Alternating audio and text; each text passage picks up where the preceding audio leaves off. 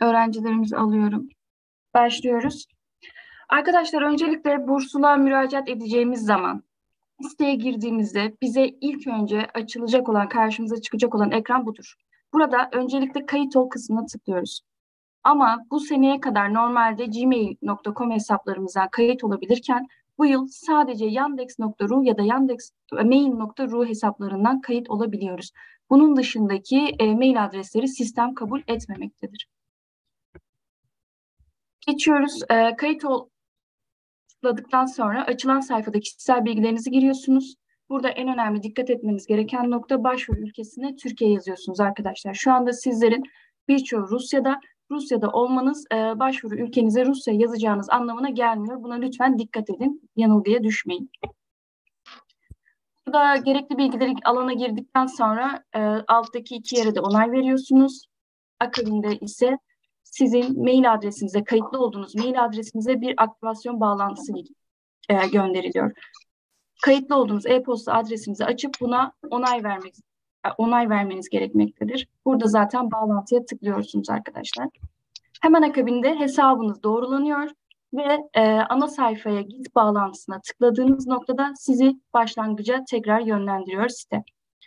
Burada e, giriş kısmına tıklıyoruz ve artık e, siteye tam anlamıyla giriş yapabiliyorsunuz. Aktif olarak kayıt olmuş oluyorsunuz. Kayıt olunurken, e, oluştururken kullandığınız e-posta, e-posta adresiniz ile oturumunuzu açtıktan sonra arkadaşlar senin içindesiniz ve artık ankete başlıyoruz. Burada e, yeni bir uygulama oluşturuna tıklıyorsunuz. Anket kodunuz açılıyor. Arkadaşlar bir saniye. Evet. Şimdi buradaki bilgilerin hepsi sizler için hazırlanmış örnek bir çalışmadır. İlgili alanlara kendi bilgilerinizi yazmalısınız arkadaşlar. Lütfen buradaki bilgileri esas almayınız. Öncelikle fotoğraftan başlıyorum. Burada vesikalık ya da biyometrik fotoğrafınızı yüklemeniz gerekiyor. Herhangi bir şekilde selfie ya da farklı bir fotoğraf kabul edilmemektedir. Anketiniz kontrolden sizlere geri iade gönderilir ve mülakata davet edilmezsiniz.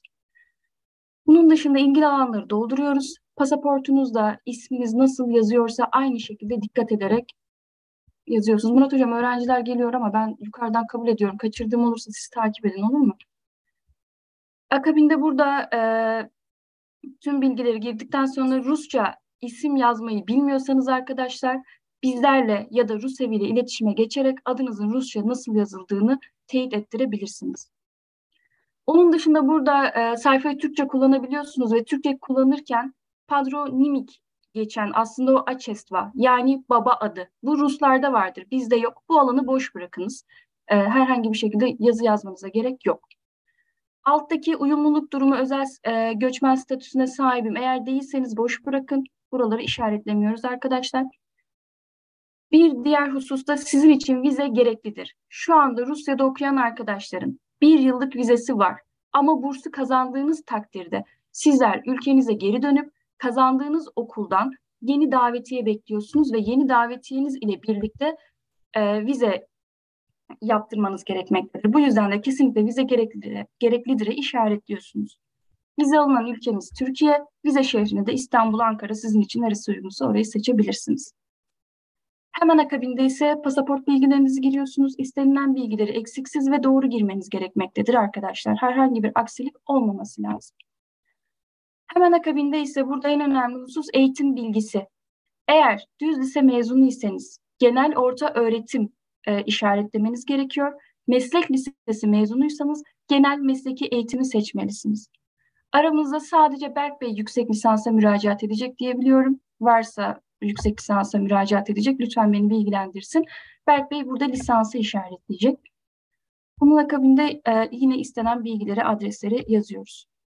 Burada sizlerden size ulaşılamadığı takdirde kime ulaşılabilir ise sizin en yakın olan aileniz, arkadaşınız, anneniz, babanız onlardan birinin iletişim bilgilerini girmek zorundasınız. Ama burada dikkat etmeniz gereken husus mail adresine kendi mail adresinizi değil veya yine kendi telefon numaranızı yazmayacaksınız arkadaşlar. Bu tespit edilirse anketiniz onay almaz, sizlere geri iade edilir bilginiz olsun. Ee, burada yine bilgileri girdikten sonra en önemli kısımlardan birisi Tüm ilgili alanları doldurduktan sonra kaydetmelisiniz arkadaşlar. Kaydetmeden daha sonraki sayfaya geçmeyeceksiniz. Burada kaydettik. Hemen sağ altta görüyoruz. Veriler başarıyla kaydedildi. Burada bilgilerimizi kontrol ediyoruz. Bu şekilde her şey girdiğimiz tüm bilgiler çıkıyor. Eğer herhangi bir şekilde eksik ya da yanlış bir bilgi varsa sağ üstten düzenleye tıklayarak tekrar siz e, bilgilerinizi düzenleyebilirsiniz. İkinci aşama, eğitim almak istediğiniz alanı ve eğitim seviyesini seçeceksiniz arkadaşlar. Sizin eğitim şekliniz tam zamanlı eğitim şeklidir. Lisans eğitimi almak isteyenler, lisans, e, yüksek lisans, doktora artık hangi alanda eğitim almak istiyorsanız onu işaretliyorsunuz. Eğitim yönü, uzmanlık, meslek hangi alanda eğitim almak istiyorsanız eğer bunu Türkçe bulamazsanız lütfen almak istediğiniz eğitimi Rusça araştırın. Kesinlikle bölümünüzü göreceksiniz. Akabinde üniversitelerin listesi oluşmaktadır. Burada en önemli kriter arkadaşlar bir şehirden en fazla iki tane üniversite tercih edebilirsiniz. Yani 3, 4 bunlar sizin elenme sebebinizdir. O yüzden lütfen anketinizin geri iade edilmemesi adına bu kriterlere dikkat ediniz. En fazla 6 farklı üniversite seçe, seçme hakkına sahipsiniz. Becerilerine geliyoruz. Türkçe dışında bildiğiniz farklı bir yabancı dil varsa onu ekleyiniz. Hemen sağ tarafında da ana dil, orta seviye, başlangıç seviyesi gibi seçenekler var. Oradan da seviyenizi belirtebilirsiniz. Şu an e, sizler Sky Education öğrencileri hazırlık eğitimi alıyorsunuz Rusya'da. Lakin aldığım hazırlık eğitimi benim için yeterli değil. Yeniden bir hazırlık eğitimi almak istiyorum derseniz buradaki hazırlık bölümünde fakülte eğitimi alma ihtiyacınıza tıklayınız. İstemiyorsanız direkt birinci sınıftan başlamak istiyorsanız o zaman o alanı boş bırakın arkadaşlar. Olimpiyatlar ve e, spor başarılarında madalya, sertifika, lisans ve benzeri başarılarınız varsa buralarda ek, ekleyebilirsiniz. Var ise ekleyin arkadaşlar. Bu sizin için önemli. Onun dışında burada isteğe bağlı olarak boş bırakılan alanları doldurabilirsiniz. E, mezuniyet sonrası planlarınızdan bahsedin ama burada çok fazla böyle uzatmanıza gerek yok. Daha net cümlelerle kendinizi ifade edebilirsiniz.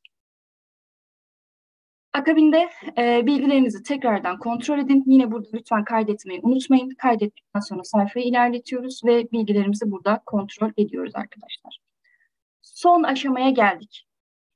E, burada izin yazdır diyor ya arkadaşlar. Orada izni yazdırıp gerekli yerleri imzalayacaksınız. Oradaki kağıtta sizin aslında anketinize başvurunuzda beyan ettiğiniz her şey, seçtiğiniz okullar, anket numaranız vesaire hepsi orada yazmaktadır.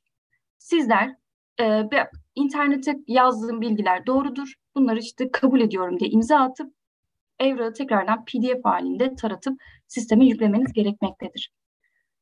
Seçimin ilk aşamasında katılım belgeniz, pasaport ve eğitim belgeleriniz olacaktır arkadaşlar. Bunları da sisteme yükledikten sonra artık e, başvurunuzun kontrole gönderilmesi gerekiyor. Burada bana hata verdi çünkü pasaport ve eğitim belgesi yollamadım. Dediğim gibi bu örnek bir çalışma. Arkadaşlar özellikle anket numaranızı, sisteme kayıtlı olduğunuz e-posta adresinizi ve şifrenizi kesinlikle unutmamalısınız. Bu çok önemlidir. Bunun dışında bakıyorum e, Zeynep Hanım da burada mesajda e, bana belirtmiş, not yazmış arkadaşlar. E, oradaki dil bölümünde lütfen dili bilmiyorsanız eğer biliyorum olarak kaydetmeyin, işaretlemeyin. Çünkü e, sınavda bunlar tespit, mülakatta bunlar tespit edilecektir arkadaşlar. Sizler oraya İngilizce C2 seviyesinde biliyorum diye işaretlerseniz mülakatta muhtemelen İngilizce devam edeceklerdir. Bunun dışında da arkadaşlar şu anda ekran paylaşımını durduruyorum. Arkadaşlar şimdi sizin mülakatla ilgili, başvurularla ilgili, okul seçmesiyle ilgili herhangi bir sorularınız varsa alabilirim. E, ben şey soracaktım. Referans mektubunu hangi kısmı eklememiz gerekiyor? Ve birden ya, fazla referans mektubu ekleyebiliyor muyum? Birden fazla referans mektubu ekleyebilirsiniz Sena Hanım. Ee, onun dışında da bu diğer evraklar kısmında e, yükleyebilirsiniz. Buradan bakalım hemen kontrol sağlayalım. Referans mektubunuz arkadaşlar e, diğer e, evrak ekleme kısımları var. Olimpiyat, spor başarıları gibi. Orada, oralara ekleyeceksiniz referans mektuplarınızı. Ayrıca e, yüksek lisans yapacak olan öğrenci arkadaşlarımız için de neden Rusya'da eğitim adlı yazısını ve tez özetini vesaire onları oraya ekleyeceksiniz. Şu an ekran paylaşamadım hata veriyor. E, bir de tıp bölümü için yüksek lisans mı seçeceğiz yoksa lisans mı? Ee, orada tıp eğitimi olarak ayrı bir alan var. Onu seçeceksiniz. Tamamdır. Teşekkür ederim. Rica ederim. Rıza Bey bir soru yöneltmiş. Kasım'daki to toplantıda pasaport için acele etmeyin denmişti. Ondan dolayı daha başlamak istedim. E, pasaportunuza şu an müracaat ederseniz Rıza Bey muhtemelen yetişmeyecektir. E, sizler kimliğiniz ile müracaat edeceksiniz. Bursu kazandığınız takdirde pasaportunuz gelir. Ama şimdi şöyle de bir durum söz konusu. Diyelim yedekte kaldınız. E, bu süre zarfında da pasaportunuz hala elinizde değil. Yedeklerde pasaportu olan öğrenciye öncelik veriyorlar. Bu konuda da bilginiz olsun. Mailinizin maili Yandex olması şartı yoktur. Gmail'de olabilir. E, bu Rus evine gidecektir. E, sizin mailinizin başvuru yapabilmeniz adına yandex.ru ya da mail.ru olması gerekmektedir arkadaşlar. Başka sorusu olan var mıdır? Merhabalar. Merhaba Mehmet Bey buyurun. Ee, Rusev'in Instagram sayfasında bir hikaye paylaşmışlar ama mülakatta bu video sorulacaktır diye. Videoda şey var. Hmm, bursun içeriği.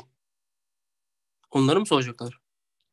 Hayır hayır e, herhangi bir şekilde orada paylaştıkları videolar sorulmayacak. Sizlere mülakatlarda neden Rusya'da eğitim almak istiyorsunuz? E, tercih ettiğiniz üniversiteler neden onlar? Hangi üniversiteleri tercih ettiniz? Hangi alanda çalışmak, eğitim almak istiyorsanız neden bu alanda Rusya'da eğitim almak istiyorsunuz gibi gibi size sorular yöneltilecek. Anladım. Peki bir de Yani mesela Buyurun. e, mülakata geçtik diyelim. Sağlık testleri gerekiyor, değil mi? Mülakatlardan geçtikten sonra evet sağlık Evet. kontrollerinden yap geçeceksiniz. Bunlar tüberküloz, HIV ve hepatit testleri. Başka bir şey var mı? Hayır yok. Bir şey e, bir sertifika daha yazıyordu ama bu başka bir burs içinde de. Hani bu üniversitede okuyabilir doktorun el yazısıyla. Öyle bir şey var mı? Hayır, e, şimdi onu şöyle sağlık ocaklarında da yazdırabilirsiniz. Yurt dışında okumasına herhangi bir engel teşkil eden sağlık sorunu yoktur diye bir ibare istiyorlar. Onu yazdırabilirsiniz. E, ama sizden asıl istenen tüberküloz, HIV ve bu ikisi evet. Bunlar Hepatit. Hepatit testi evet. Peki bu o dediğiniz belgenin bir adı var mı? E, yok diye biliyorum. Tamam, teşekkür ederim. Rica ederim. Ama o zaten ikinci aşama. Onun için acele etmeyin. Lütfen testlerinizi yaptırmayın. Ee, diyelim ki mülakatlara davet edildiniz ve bursu kazandığınız o zaman bu hastane sürecinden geçeceksiniz. O yüzden şu an için lütfen hiç kimse hastaneye gidip test yaptırmasın arkadaşlar. E, bir de ben bir şey daha sormak istiyorum. Benim kardeşim şu an 12. sınıfta. Hı hı. E, o bir şekilde başvuru yapabiliyor mu bu burslar için? Lise son sınıf öğrencisi mi?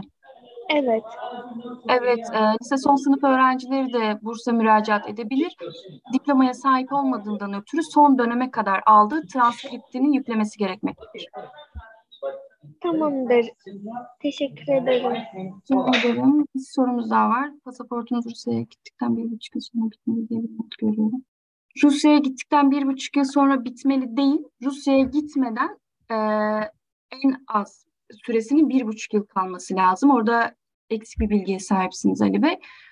Bunun dışında eğer 2024 yılında bitiyorsa sizin eee, sanırım kimlikle müracaat etmeniz daha doğru olacak. Hayır, sağlık testlerinin Rusya'da yapılma şartı yoktur. Türkiye'de de yapabilirsiniz arkadaşlar. Nitekim ben Türkiye'de yapıp geldim. O dönemde Rusya'da değildim.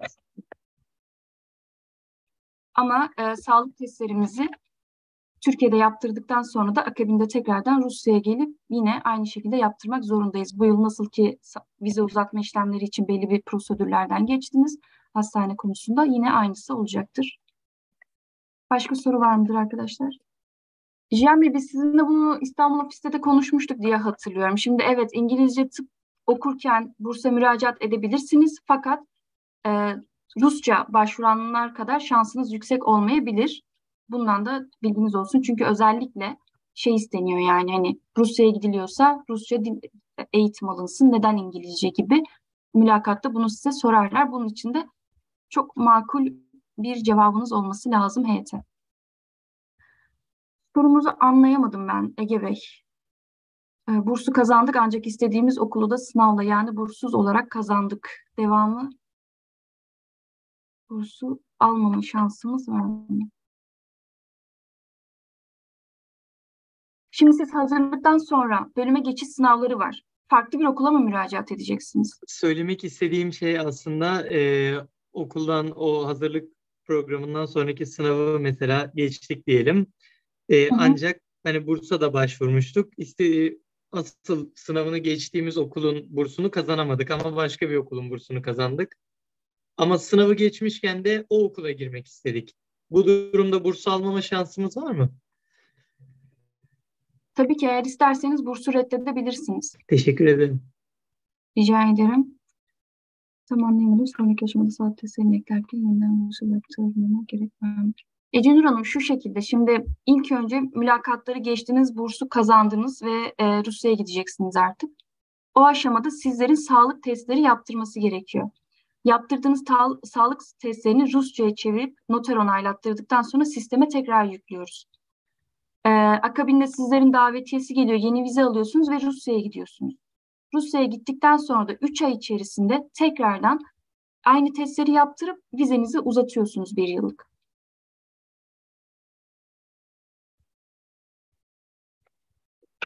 Yani evet Rusça'da yeniden test yaptırmanız gerekiyor ve bunu zaten arkadaşlar her yıl tekrarlıyoruz. Ee, evet bu bursu kazandığımız belli olduktan sonraki aşama, test aşaması, sağlık test aşaması. Arkadaşlar yok mu mülakatlarla ilgili sorularınız? Hanım, Hadi canım. Buyurun. bursun son başvurusunu e, söyleyelim isterseniz. Bir de başvurduk, bize çıkmadı mı çıkmadı mı hani onunla da ilgili bilgi verirseniz daha sonraki süreçte arkadaşlar en azından şimdi bilgi sahibi olsun. İkinci soruyu anlayamadım hocam. Bursa başvurduk, sonuçlar açıklanmadı mı, siz mi açıklayacaksınız, nereden öğreneceğiz gibi sanırım sorular Hı hı. gelecektir bize başvuruların kapanmasından sonra. Onunla Evet. ilgili isterseniz kısa bir bilgi verelim. Arkadaşlar son baş teşekkür ederim Murat hocam. Son başvuru tarihi 20 Şubat. Ve e, burslulukta işte mülakatı ka- hak girmeye hak kazandı mı kazanamadı mı gibi e, soruların yanıtları bizlerde değil. E, Rusya ve Ankara'nın resmi Instagram hesabında paylaşılacaktır. Sizlerin anket numarasını paylaşacaklar orada. E, mülakata da davet edilememeniz nasıl olur arkadaşlar? Eğer ankette herhangi bir e, eksik bilgi ya da yanlış yaparsanız ve anketiniz size geri iade edildiği takdirde anketi düzeltip tekrar göndermezseniz eğer mülakata davet edilmezsiniz. İlk önce mülakata davet edildiğiniz açıklanacak. Rusya ve Ankara'nın belirttiği net bir tarih yok ama tahminlerine göre e, bir hafta sonra da artık başvurular, e, direkt mülakatlar başlayacak. Rusya vizesiyle, öğrenci vizesiyle Rusya'da olan arkadaşlarımız Rusevine bunu beyan ettikten sonra online bir şekilde mülakata katılabilir. Yüz yüze katılmak istiyorsanız o tarihler aralığında Türkiye'de olup Ankara'da mülakatlara katılabilirsiniz arkadaşlar. Hayır arkadaşlar hazırlık eğitimi almak istemeyen arkadaşlar kazanması halinde birinci sınıfa geçerken herhangi bir şekilde sınava tabi tutulmayacaksınız. Direkt e, birinci sınıftan eğitiminize başlayacaksınız. Merhaba, Hatta- bir de ben Merhaba Ali Bey buyurun. çok pardon. Uluslararası Buyurun. İlişkiler bölümünde yüksek lisans yapmayı düşünüyorum ben. Evet. St. Petersburg Devlet Üniversitesi'ne başvuruyorum ve ayrıyeten Petersburg'da e, Politeknik e, örneğin o üniversiteye de Evet. başvurmak istiyorum. İnternette o, o bölümün o üniversitede olduğu görünüyor fakat başvuru ekranında Politeknik Üniversitesi'ni bulamıyorum. Veya Vysshaya Şkola Ekonomi 2'yi bulamıyorum. Sayfayı Rusça olarak e, kullanın. O zaman görebilirsiniz. Eğer Politek Üniversitesi'nde Uluslararası İlişkiler bölümü var ise muhakkak sistemde de vardır. Anladım. Teşekkür ederim. Bu konuyla ilgili de herhangi bir sorun e, devam ederse lütfen Rus evine yazın. Size bir gerekli bilgiyi vereceklerdir. Sistemsel bir hata olduğundan ötürü düzelteceklerdir. Tamamdır. Teşekkürler. Mülakatta genel olarak nelere dikkat etmeliyiz? Çok güzel. Arkadaşlar mülakatta e, kısa ve öz konuşun, net cevaplar verin. E, cümlelerinize mümkün olduğunca ben böyle düşünüyorum, bence böyle, böyle istiyorum gibi gibi cümleler, kelimeler kullanmaktan lütfen kaçının. Her şeyiniz net olsun, verilere dayanarak konuşun. E, yani mesela ben turizm öğrencisi olarak mülakata hazırlanırken TÜİK verilerinden yararlandım. Bizim ülkemize giren son 10 yılda en çok yabancı ziyaretçilerin Ruslar olduğunu ve e, bu rakamların her yıl yüzde kaç oranla artış gösterdiğini Ee, evet bunları söyledim. Yüzde kaç oranla artış gösterdiğini vesaire bunlara dayanarak konuştum. Tamamen istatistiksel verilerden yararlandım ve bu beni çok fazla ön plana attı. Sizler de öyle yapın arkadaşlar. Resmi verilere dayanarak konuşun. Lütfen mantıklı cümleler kurun. E, cümleleriniz çok uzun uzun olmasın. Mülakatlarda şu anda hazırlık okuduğunuz için herhangi bir teste tabi tutulmazsınız arkadaşlar. E, hangi dilde kendinizi daha iyi ifade edebiliyorsanız mülakatınız o dilde gerçekleşecektir. Ancak şu anda hazırlık eğitimi aldığınızdan ötürü işte kendinizi Rusça tanıtmanızı isteyebilirler ya da Rusça çok ufak sorular size sorabilirler. Bunlara da hazırlıklı olun ama çok fazla zorlamazlar çünkü seviyenizde biliyorlar hazırlık öğrencisi olduğunuz için arkadaşlar. Siz yine de kendinizi Rusça tanıtmayı öğrenin. Size ne sorulmuştu mülakatta? Kaç dakika sürdü? Ee, maksimum 5 ila 10 dakika arasında diyorlar ama bu sürede uzayabiliyor sizin mülakatınızın işleyişine göre. Bana mülakatta neden Rusya'da okumak istediğimi sordular. Neden Rusya'da yüksek lisans yapmak istediğimi sordular. E, lisans bitirme tezimi sordular ve yüksek lisans tezimi hangi alanda çalışmak istediğimi sordular. Akabinde de bana hani çalışmak istediğim konu ile ilgili neden Rusya'ya gitmek istediğimi bu konuda Türkiye'de de çalışabileceğim iyi bir üniversiteler olduğunu söylediler. E, bunların hepsine tek tek cevap verdim arkadaşlar ve e, üniversitede seçtiğim fakülteleri sordular. Neden o üniversiteleri seçtiniz, neden o şehirleri seçtiniz diye. Başka bir soru sorulmadı. bir de benim en afalladığım, gerçekten hiç çalışmadığım bir soruydu bu. Boş zamanlarınızda ne yapıyorsunuz sorusu. Hiç böyle bir şey beklemiyordum. Öyle spor dalları falan söyledik yani profesyonel olmamakla beraber diye. Öyle afallatan sorular da gelebiliyor. Bunlara hazır olun. Başka soru var mıdır arkadaşlar? Sanırım Ben oluyor. Göndereceğim ama bu e, vesikalık fotoğraf için. Bende vesikalık fotoğraf var. Onu telefondan taratıp yüklesem olur mu? Mehmet ya Bey da ayrı... sanırım internetiniz problem yaşadım kusura bakmayın lütfen. Mehmet Bey sizin sorunuzu tekrar alabilir miyim? E, Mehmet Bey şeyi soruyor. Fotoğrafımı telefondan taratıp yüklesem olur mu diyor. Olur net bir şekilde olursa problem değil. Siz şu an neredesiniz Mehmet Bey? Yani Rusya'daysanız bile kırtasiyede taratabilirsiniz fotoğrafınızı. Ru- Rusya'dayım, Petersburg'dayım. Yani bir aslında bilgisayar tarayıcısı bulup orada taratabilirsiniz Evet. ya da fotoğraf çektirdiğiniz yerden e, dosya halini rica edebilirsiniz. Öyle daha garanti Evet olur. yani riske atmayın bence isterseniz. Ama Tamam, yine bir sorun teşkil edeceğini düşünmüyorum. Teşekkürler. Ayrıca Hanım e, Şimdi- video olarak da yayınlayacağız bunu. Herhalde arkadaşların soruları sona erdi. Merak edenler, kaçıranlar ben yarın bunu editleyip e, çok gecikmeden yarın akşama yetiştirmeye çalışacağım. E, Rusya'da eğitimin YouTube kanalına videoyu yükleyeceğiz. Oradan tekrar başa sarıp en azından kayıt aşamasında nelere dikkat etmeniz gerektiğini Ayıca Hanım az önce anlatmıştı. Oradan ileri geri ileri geri izleyerek kendiniz de çözebilirsiniz. Bilginiz olsun. Arkadaşlar şey de bek- eee, söylemek istiyorum. Tarama evraklarınız yani taramanız gereken evraklarınız yanınızda değilse Zeynep Hanım'la iletişime geçiniz. O size evraklarınızı iletecektir. Biliyorsunuz ki evraklarınız Sky Education'da mevcut. Toplantıyı bitiriyoruz o zaman. Evet hocam arkadaşların sorusu kalmadı sanırım. Arkadaşlar Başka hepinize çok teşekkür ederiz. Varsa arkadaşlar Telegram'dan yazabilirsiniz. Video yayınlandığının altına yorum olarak da yazabilirsiniz ya da bize sosyal medya hesaplarından ulaşabilirsiniz arkadaşlar. Mülakatlar için de mülakata davet edilen arkadaşlarla ayrıca tekrar bir görüşme yapılacak arkadaşlar.